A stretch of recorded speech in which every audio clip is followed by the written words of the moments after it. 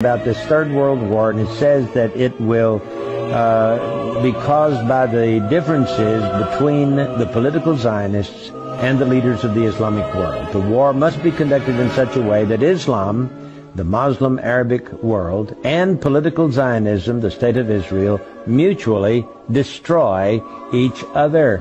That's what it says. Meanwhile, the other nations, once more divided on this issue, will be constrained to fight to the point of complete physical, moral, spiritual, and economic